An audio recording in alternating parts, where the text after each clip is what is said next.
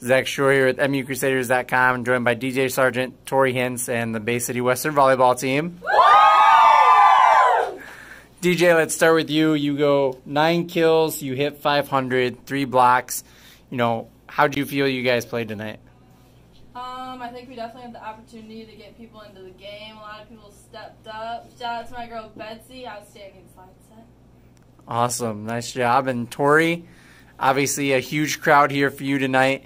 You ended up with seven kills. Just how's it feel to be able to play in front of your old teammates? It feels great. I'm so happy they made it out here to watch tonight, and they brought so much energy, and I had a lot of fun playing. Awesome. Well, congratulations and thanks for coming, ladies. Woo!